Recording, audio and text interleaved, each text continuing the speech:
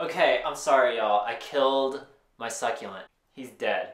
Apparently, I overwatered him. Is that a thing? You can overwater a plant? I had no idea.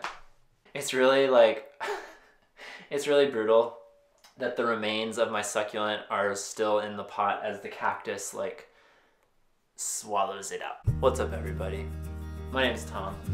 I'm the editor, co-founder of Your Other Brothers.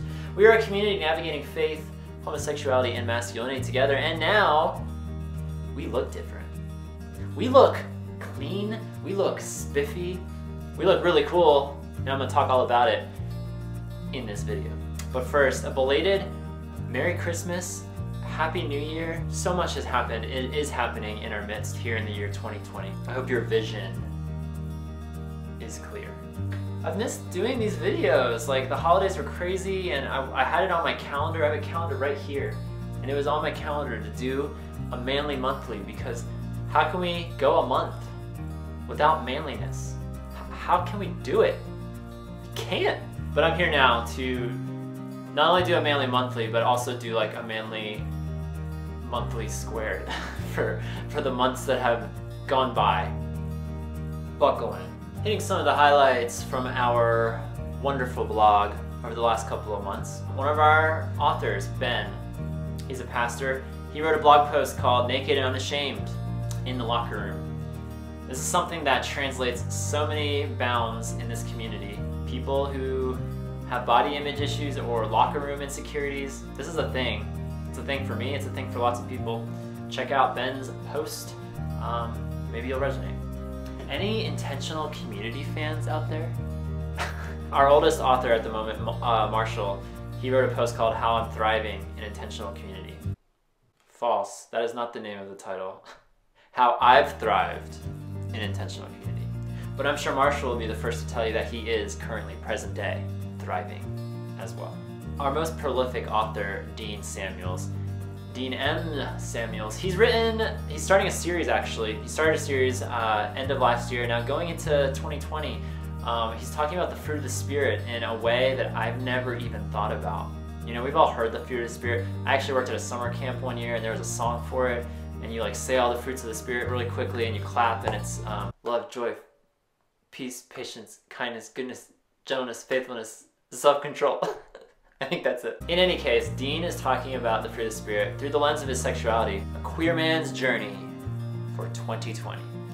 And so he's talked about love to kick off uh, to kick off this journey. And so I'm really excited to see the insights that Dean gets, not only about the fruit of the Spirit, but how that illuminates his sexuality as well, and how those two things go hand in hand. One of our newer authors, Daniel, he has his own series. We have so many series going on in this community. It's ridiculous. It's so good. But Daniel, he's doing a coming out series, all these stages that he's had of coming out. And his most recent chapter in that story is coming out of the country, learning who God is.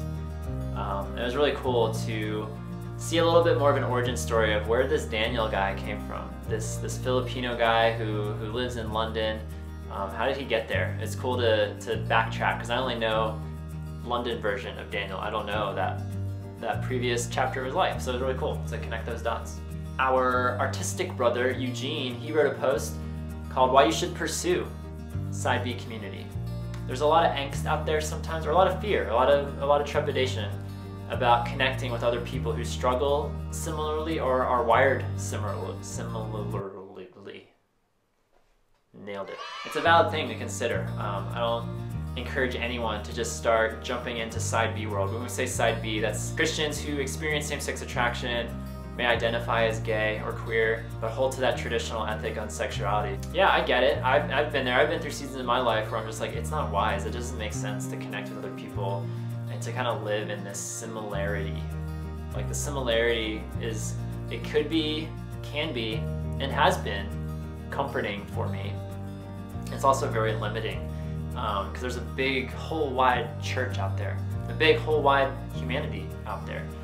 And so if we just isolate to one people group, that's supremely limiting, I think, on uh, things that we may maybe could be learning, could be experiencing, that others could be teaching us, and vice versa, that we can be showing, learning, um, learning others, to learn others, or otherwise known as teaching them. But Eugene makes some good points, and I think um, on a case-by-case basis, you should yeah look into into community across the board, whether it's people within within quote unquote your struggle or your proclivities, and people beyond as well.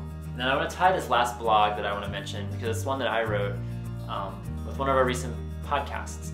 Um, the blog post was called "Pornography, Promiscuity, Praise, Repeat," and it all comes down to this cycle that I have found myself in. That a lot of people out there, I'm sure, can relate with um, this cycle of, of going through unhealthy patterns and then coming to senses and, and repenting and standing back up again. But then as soon as you do that, it's like, okay, now the wheel's turning and now eventually I'm just gonna fall again.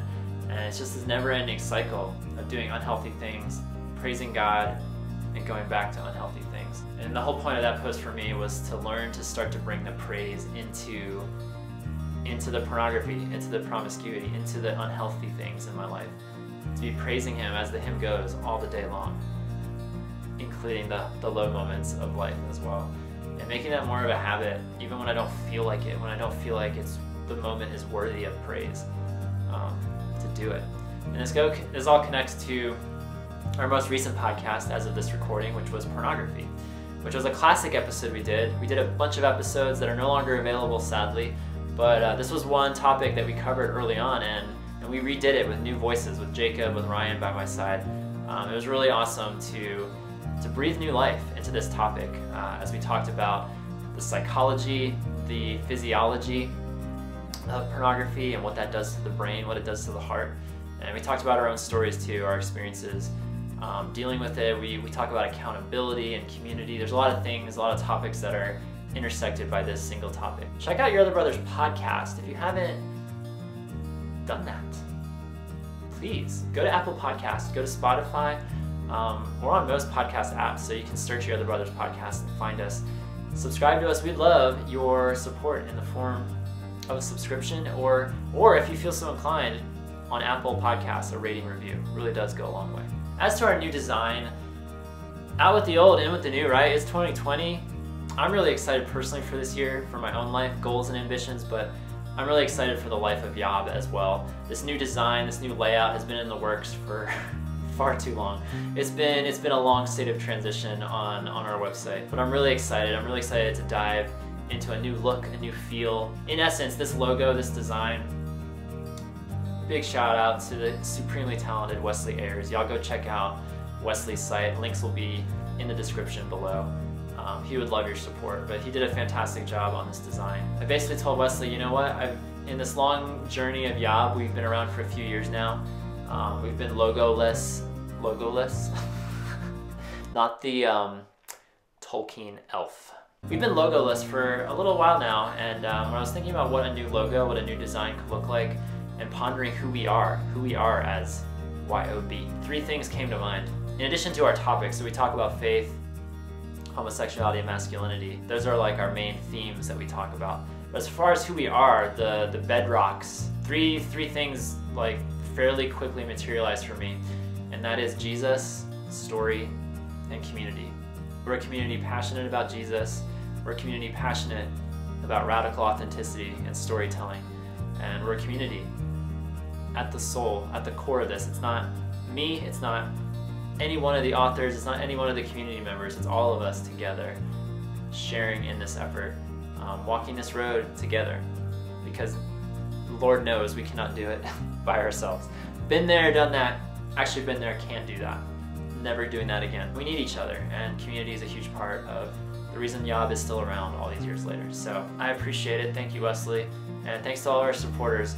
Yob can't exist without Patreon, without you guys supporting us month after month. Um, if you're interested at all in supporting the effort, you can find that link down below as well. I'm gonna go and uh, keep watering my plants in hopes that they drown a awful, wet, suffocating death. But until next time, whatever the tagline is, that's what it is. that was the Manly Monthly, the month that was manly. Let us all have a manly month yet to be.